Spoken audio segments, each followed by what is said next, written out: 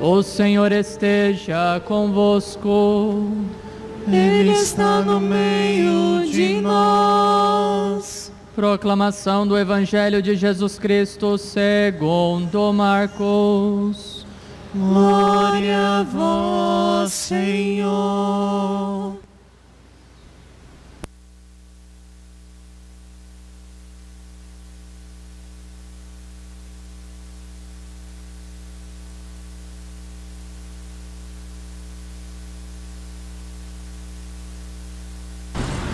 Estando com seus discípulos em Cafarnaum, Jesus, num dia de sábado, entrou na sinagoga e começou a ensinar.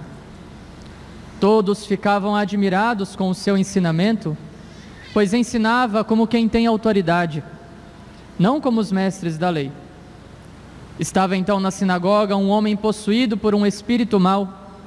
Ele gritou: Que queres de nós, Jesus Nazareno? Vieste para nos destruir? Eu sei quem tu és. Tu és o Santo de Deus. Jesus o intimou: Cala-te e sai dele. Então o espírito mau sacudiu o homem com violência, deu um grande grito e saiu. E todos ficaram muito espantados e perguntavam uns, uns aos outros: Que é isto? Um ensinamento novo dado com autoridade. Ele manda até nos espíritos maus e eles obedecem.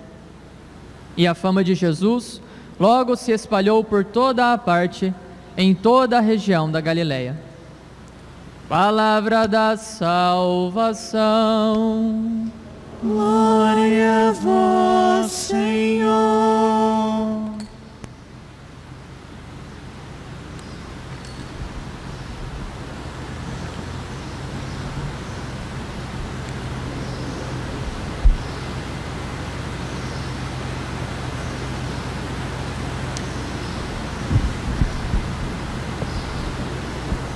Meus queridos irmãos e irmãs em Cristo Jesus, nesta semana ficou famosa uma situação que aconteceu no Big Brother, que virou polêmica porque ninguém gostou. O Fiuk, o filho do Fábio Júnior, apareceu fazendo cena para as câmeras, como se não estivesse sendo filmado, pedindo desculpas por ser homem, por ser hétero, por ser branco, por ser famoso, por ter nascido com privilégios. Não é nem um pouco razoável pedir desculpas por uma situação como esta, porque afinal de contas, que culpa ele teve, que culpa cada um de nós temos, pelas características com as quais nascemos, pelo contexto na onde nascemos, em que vivemos, não temos culpa de nada. Isso não passou de pura demagogia, pura cena para que o mundo visse, para que o Brasil visse nossa, como o filho do Fábio Júnior, ele se importa com as mulheres. E como ele está consciente a respeito daquilo que o homem representa no mundo de hoje, com a sua masculinidade tóxica, o seu autoritarismo que só oprime, esmaga e maltrata, é hora de valorizar as mulheres. Ele não disse tudo isso, mas ele falou o que eu falei antes: fez pose de choro, chorou um pouquinho e estava tudo bem. O problema é que ele não contava com a reação do povo brasileiro. Porque não só as pessoas que são contrárias a esse tipo de ideia apresentada pelo Fiuk no programa, mas também aquelas pessoas que são a favor dessas ideias perceberam a cena que ele estava fazendo e como o negócio ficou muito fajuto, artístico.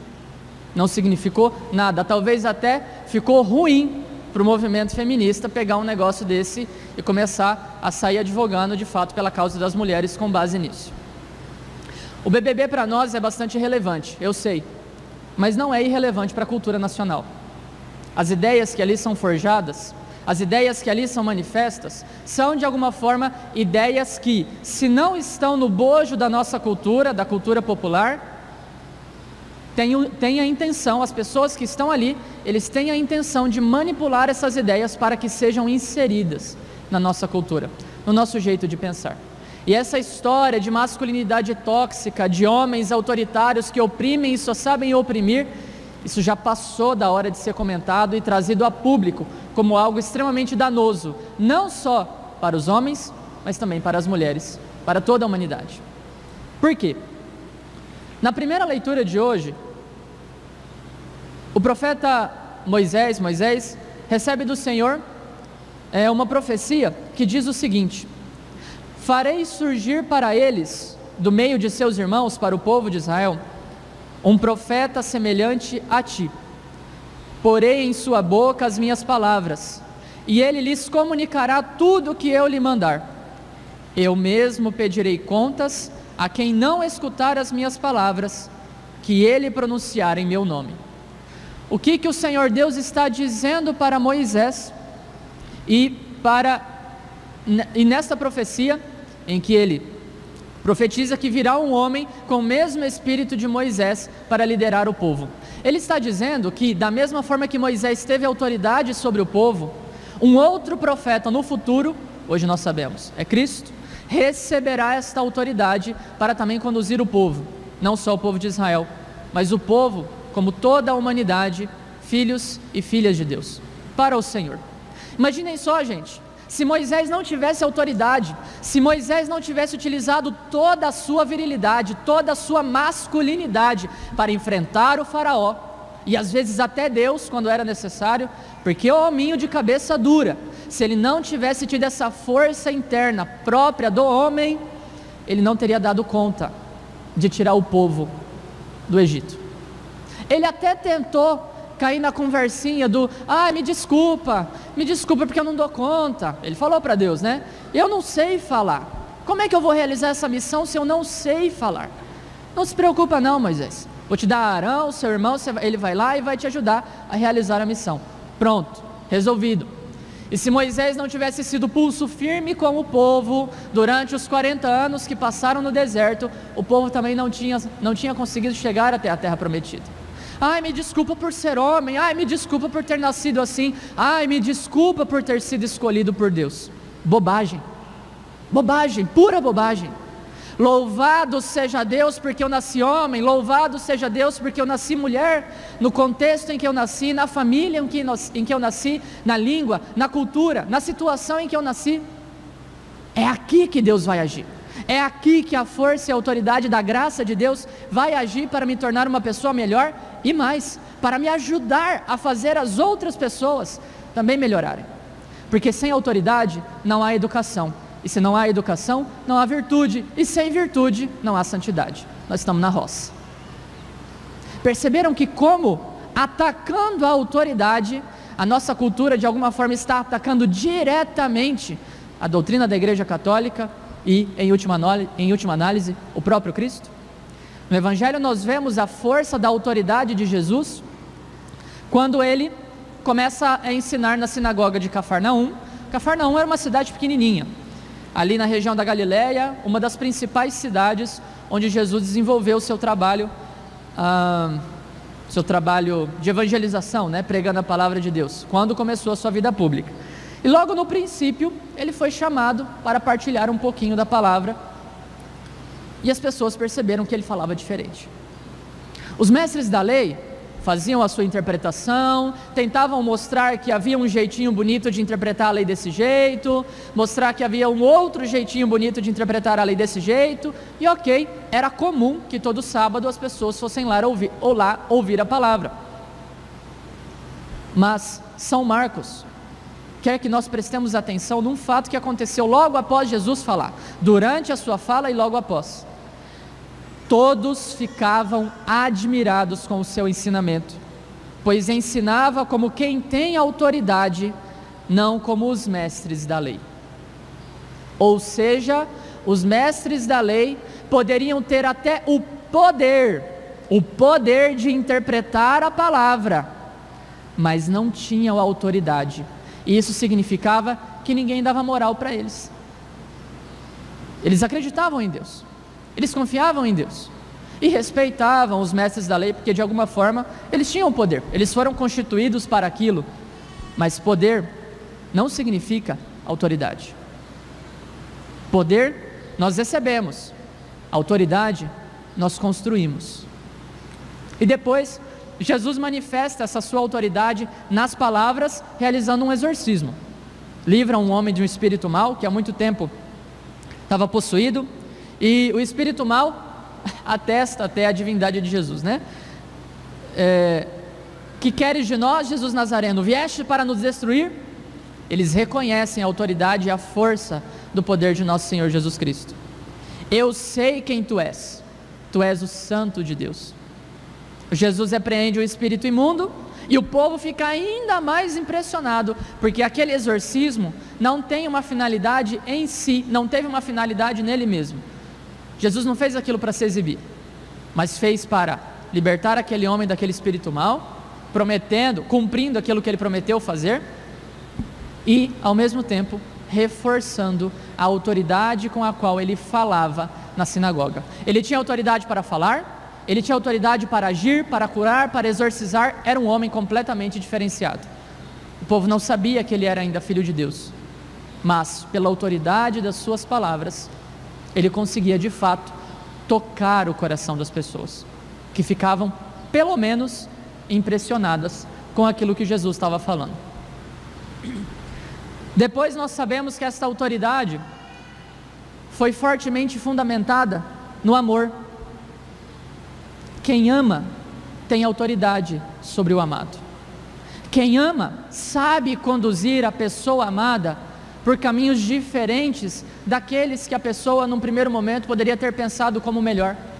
Uma mãe que ama, que se preocupa, que se importa com seu filho, um pai que ama, que às vezes precisa corrigir e corrigir com dureza, porque se importa com a educação e a formação do caráter do seu filho, esta mãe e este pai são profundamente respeitados. Nós não temos aqui fórmula mágica para dizer que um pai que ama e uma mãe que ama com certeza conseguirão a salvação dos seus filhos, porque não depende dos pais, depende de Deus. Mas eles fazem o seu papel. E com a autoridade que acabam adquirindo pelo amor, pela força do amor, eles conseguem ir conduzindo pouco a pouco os seus filhos no caminho certo, no caminho do Senhor. Autoridade, portanto, meus irmãos e irmãs, é bastante diferente de autoritarismo. E mais, autoridade é bastante diferente de poder. Nós podemos ter um presidente constituído com os máximos poderes na nação, mas não ter autoridade nenhuma sobre o povo. Ele pode utilizar o seu poder para oprimir, ele pode utilizar o seu poder para fazer o que quiser, ele pode utilizar o seu poder de qualquer maneira, mas ele pode não ter autoridade nenhuma. Isso não vai significar nada na vida do povo. A autoridade, portanto, é um recurso extremamente necessário para Deus, porque aquele que ama tem autoridade, e pelo amor e a força da sua autoridade consegue conduzir ao caminho da santidade. Para deixar um pouquinho mais claro, tomemos o exemplo de São João Bosco. São João Bosco que exerceu a sua autoridade de uma maneira bastante intensa, mas muito, muito amorosa. Os relatos dos meninos que foram educados por Dom Bosco, os relatos dos salesianos que conviveram com Dom Bosco, são impressionantes. Porque eles, eles, eles relatam que Dom Bosco, com um simples olhar, com a sua simples presença, tinha uma força tão forte no meio do povo, conseguia arrastar os meninos, conseguia conduzir de fato os meninos a fazer aquilo que era necessário. Porque o seu método, o método preventivo de educação, era bastante diferente do método repressivo, que é mais fácil. É mais fácil reprimir do que educar, muito mais fácil. Uma vez um reitor do seminário de, um seminário da França perguntou para Dom Bosco, na verdade ele já tinha perguntado várias vezes, né? Dom Bosco, qual é o segredo da sua educação? Dom Bosco, fala para mim o que, que você faz para conduzir os seus meninos, os seus jovens? Como você é tão eficaz, Dom Bosco? Eu quero aplicar isso no meu seminário também. Dom Bosco já estava de saco cheio disso. Um dos seus biógrafos diz que numa das cartas que esse reitor mandou para Dom Bosco, enquanto ele alia, ele dizia: Meu sistema, meu sistema, ora, que sistema? Não tem sistema. Eu só fiz aquilo que Deus me pediu para fazer. Ou seja, ele só amou. E de fato era muito impressionante, porque até o pessoal que cuidava da educação do município de Turim, quando visitava as escolas que Dom Bosco cuidava, visitava os meninos que Dom Bosco formava, ficava muito impressionado, porque os meninos ficavam quietos, disciplinados, prestando atenção, mesmo sem a presença do professor dentro da sala. Não era necessário uma figura repressora, porque eles tinham uma figura muito mais forte e poderosa, a figura de Dom Bosco, que amava, amava profundamente. Para diferenciar um pouquinho esses dois tipos de método, bom, a atitude do método repressivo é aquela do policial, que precisa estar espreito o tempo todo. A atitude do método preventivo é a do pai, que cuida, que está próximo, sim, e que ama. O objetivo do método repressivo é impedir o pecado. O objetivo do método preventivo é o de formar a liberdade para que não pequem, tenham força interna para decidir: não, eu não quero pecar. Naquele método repressivo, você fica batendo na cabeça do fulano: não peque, não peque, não peque. Neste, o de Dom Bosco, o educador procura formar a partir de dentro: meu filho, não pode pecar, tá vendo? Não vai dar certo. Confia em mim. Inclusive, um exemplo de método repressivo: anda direito, não perturbes a disciplina, porque senão vê o que está te reservado o inferno. Um exemplo do método preventivo: cuidado. Aqui está uma ocasião perigosa. Fica firme, vence o obstáculo, e se for muito difícil, apoie a tua fraqueza na minha força, pois estou aqui do teu lado. É completamente diferente. E isso serve para todos nós que de alguma forma exercemos uma missão educadora sobre os outros. Pais, mães, professores, sacerdotes, religiosos, enfim, de alguma forma todos que exercemos uma missão educadora sobre os outros precisamos saber disso. A autoridade não vem da força das palavras, a autoridade não vem do poder constituído, a autoridade não vem de si, a autoridade vem de Deus e do amor, porque quem ama consegue, de fato, conduzir o seu filho, o seu formando, o seu jovem, o seu educando para o caminho certo, para o caminho do amor. Em resumo, o que, que isso serve para cada um de nós? Como é que nós podemos aplicar isso na nossa vida? Simplesmente, meus irmãos, reconhecer em primeiro lugar qual é a nossa missão, o nosso papel, nós que somos homens ou mulheres, brancos, negros, pardos, amarelos, vermelhos que seja, de qualquer nacionalidade que seja, de qualquer cultura, de qualquer família, de qualquer classe. Reconhecer o lugar onde nós estamos na história, na sociedade, na nossa nação, na nossa comunidade. E agradecer a Deus. Obrigado, Senhor. Porque eu não escolhi nada disso, mas o Senhor permitiu e quis que eu viesse ao mundo desta forma. Se você tem privilégio, utilize-o para servir, para amar. Se você não tem privilégio, agradeça a Deus, porque todo o privilégio do mundo nós recebemos quando Deus resolveu morrer por nós. Não precisamos de mais nada. E a partir disso tudo, a partir desse conhecimento radical de quem nós somos, da força interior que nós temos e podemos ter para amar, e não para reprimir, não para oprimir, para amar a partir desse conhecimento, nós podemos crescer no amor a Jesus e receber dele, da Santíssima Eucaristia, a força deste amor, o próprio amor que nós, necessitamos para amar, e assim crescer em virtude e de fato exercer a missão que Deus deu para nós. Você tem uma missão, eu tenho uma missão. E essa missão, se não for exercida com autoridade, sustentada pelo amor de Cristo e a força do Espírito Santo, essa missão não vai dar em nada. Nós não estamos aqui para obrigar a ninguém a fazer aquilo que nós gostaríamos que fosse feito, por mais que seja verdadeiro, bom, justo e honesto. Nós estamos aqui para evangelizar e fazer como Jesus atrair, convidar, trazer junto e colocar nos ombros quando for o caso eu te carrego, eu estou contigo e vou sofrer contigo, porque eu sei que o melhor não está aqui, está nos céus, está em Deus.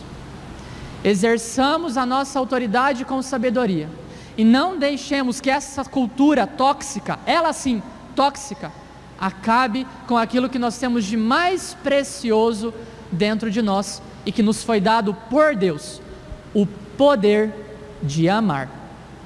Louvado seja nosso Senhor Jesus Cristo